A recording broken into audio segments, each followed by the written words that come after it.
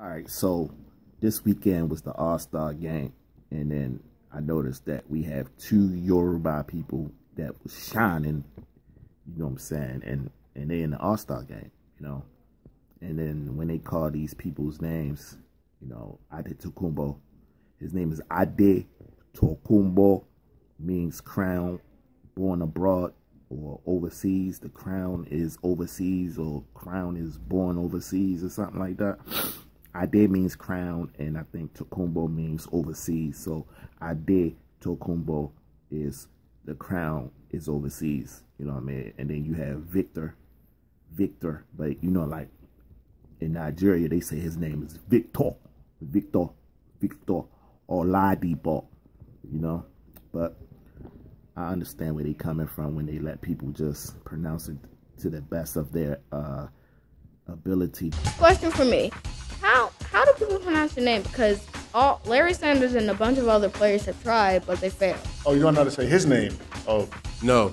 Antica and Anticomput and that's oh, Giannis. Oh, G. Giannis. My name is Giannis Antetokounmpo. there you are, folks. It's to pronounce the names, but as far as the Yoruba people like me and the rest of us around the world, we want you to say the name right for the masses of the people so they know how to pronounce our names. You know what I'm saying? Stop trying to, you know, uh, Englishise our names. So you're telling me you're going to go out there and wing that as well? Oh, definitely, most definitely. That's You know you're not. You know you're not allowed to lie. We're on television, right? You can't lie on television. You, you, you probably can. That's fair. So we have a confirmed lie from Victor Oladipo that he is absolutely not going out there and winging his slam dunk contest, but perhaps winging this dance performance here at halftime. Definitely, it's gonna be awesome. Can we expect you to be holding a microphone during the slam dunk contest tomorrow? Tonight. It's tonight. You're hours away. Yeah, I don't know. We'll see. All right, guys. All right. we don't got a lot from Victor Oladipo. We're going to let him get out there and continue putting together his performance. Even though, you know, like me, I'm born and raised in America, so my name is Ade. You know what I'm saying? But ever since I was young, they was calling me Addy. Matter of fact, that name is given to me. That's my name. You know what I mean? And that name was given to me. You know what I mean? By my late great grandmother. Not a great grandmother, but she was my um, babysitter. We called her Grandma D.C. You know what I mean? And and at first I thought she was really my grandmother until you know I got older.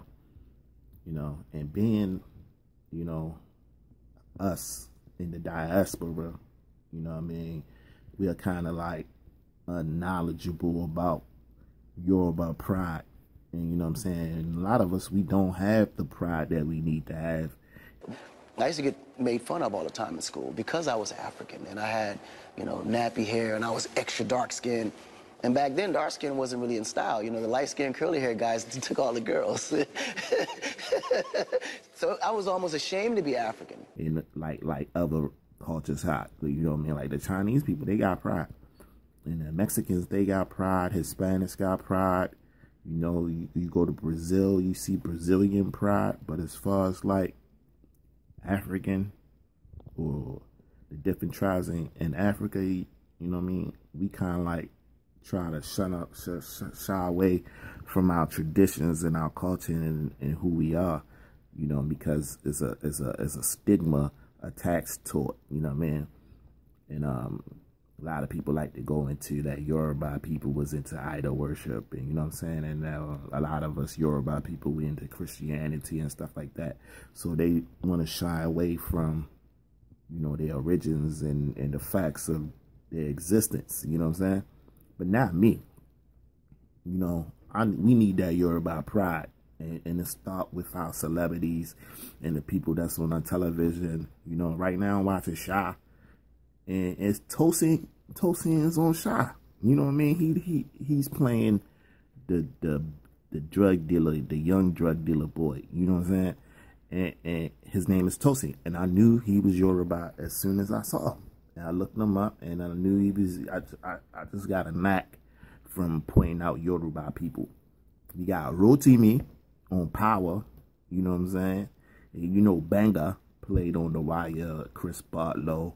We got Ajayi, you know what I mean, who played for the Eagles. You know what I mean? Yorubas, we are shining right now.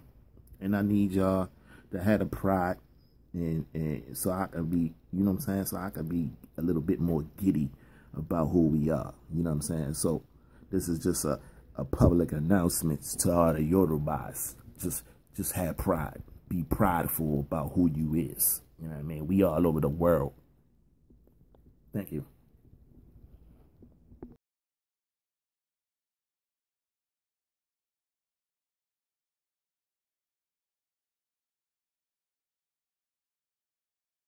The only place I know to go when my spurs is low. My radio uplifted by these sounds and these marvelous flows. Keep them coming in droves with these songs that I wove. Heart big as the moon. In my car, bumping this. See the way that I zoom. Let my music diffuse in your airwaves. Now they loving my tunes. No budget, but a nigga still does this. Distributed to the public. Only if they want it. Keep that shit 100 with this music. Keep it coming. Just doing what I want it. Just another can low nigga who done it. Got my own styles and doubts are not covered. Never ever speaking rubber, so my songs won't tarnish. Ten years later, y'all still gon' want it. And ten years later, I'm still up on it. Told y'all catalog's enormous in my basement making hot tracks. It's the furnace. That Yoruba flavor is all in my name.